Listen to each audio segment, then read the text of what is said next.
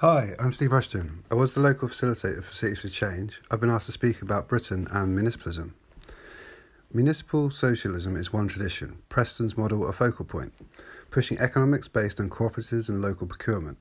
However, academic Matthew Thompson asks Is this municipalism, as it is politics for the many instead of by the many?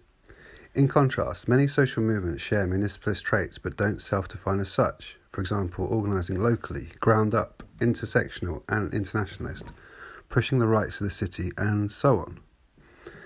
Britain is a highly centralised, greatly dysfunctional, and ever more draconian state, although municipalist journeys are underway.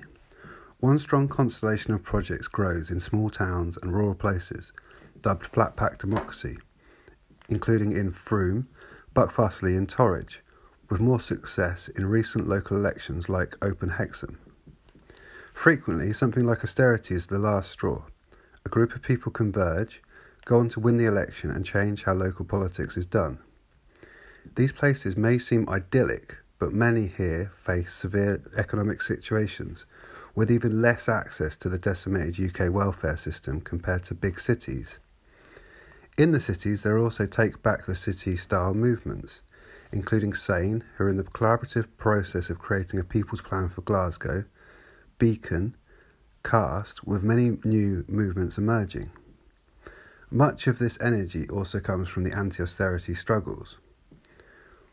Whilst the COVID pandemic deepens social crisis, it catalyses the growth of mutual aid groups such as the Cooperation Town Network, inspired by Cooperation Jackson.